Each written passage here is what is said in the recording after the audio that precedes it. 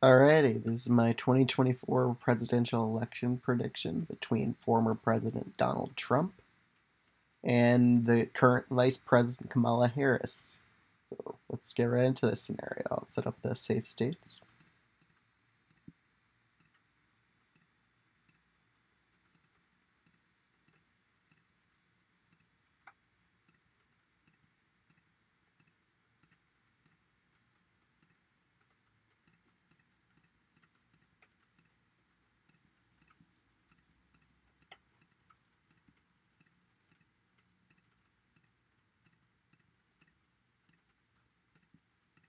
Okay, everything's all set up for this scenario. Let's get right into it. So, the first two states I'll get right out of the way at first is Iowa and Ohio. They're pretty similar, so I'm just going to tackle them both at the same time. I feel like Kamala Harris is not as strong as Joe Biden, especially in these states. And I feel like even though Trump's base is slightly eroding, he'll be able to keep it in the likely margin and might expand on his old margin he had in the 2020 election. So we'll see if it's this scenario in the future.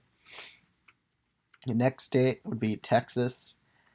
I would put this as about a lean margin for Trump. I feel like Texas will still get more Democratic from the 2020 election. The next state I would do would be New Hampshire. It would be a lean margin. I feel like Kamala Harris's unpopularity compared to Joe Biden, she would actually lose a bit of Joe Biden's win he had in 2020, especially in New Hampshire. I feel like she's a weaker candidate in this area, in the New England area. And I would put the same for Maine. I would put it as a lean margin against Trump, and it'll give Trump Maine's second district. I feel like his base would remain intact here. Next state would be Minnesota. I would do it as a lean margin. I feel like Kamala Harris will slightly lose a bit of Joe Biden's base, especially in this state, and in the Rust Belt overall. Next state I would do would be Florida. I would categorize that as a lean margin. I don't think it would go into likely, not for Trump in this scenario. I feel like Kamala Harris will have the same struggles as Joe Biden had here in gathering Latino voters in the Miami Dade area. I feel like that would continue. But I feel like it would roughly stay around the same margin as it was in 2020, like a around three point lead for Trump in the state. Next state, North Carolina. I'd categorize that as a lean margin. I don't think it'll be tilt. I think Trump could expand on his margin here compared to the 2020 election against Kamala Harris. Next state would be Michigan. I would give it as a tilt margin in this scenario. I feel like Michigan will be razor thin it was Trump versus Harris. I feel like Harris has a lot of the same problems Hillary Clinton had, especially in this state. She would suffer the same problems. Wisconsin, be a tilt margin. I feel like Trump could uh, definitely do better here compared to the 2020 election. I feel like you could get it into this tilt margin. Wisconsin's a very close state, and Harris, I don't think, is the type to win this state.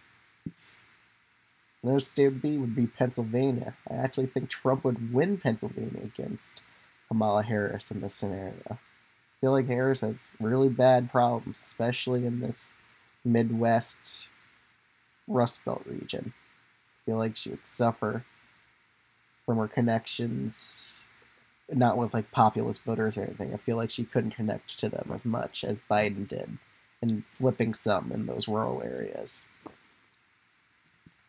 Nebraska second. I still think Kamala Harris will win this, but it'll be a lean margin, not a likely margin as like Joe Biden won it. Georgia, however, that would be a tilt margin from Kamala Harris. The Atlanta suburbs will get her the win here, and the Georgia's becoming more and more Democratic every election. I feel like it would still hold even for Harris. New Mexico would be a likely state for Harris. I feel like Trump could get it below a 10 point lead for Harris in New Mexico, but I don't think he can make it any more competitive than that.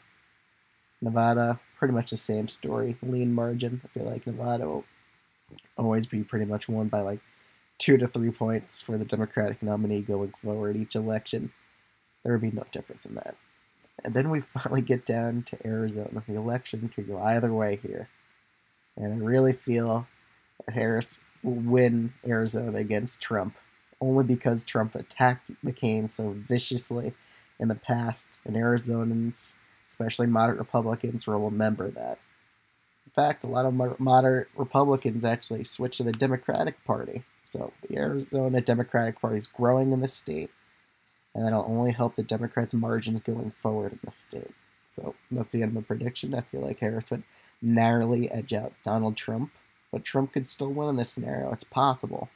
But as of right now, I would predict uh, Harris has a 10 electoral vote victory.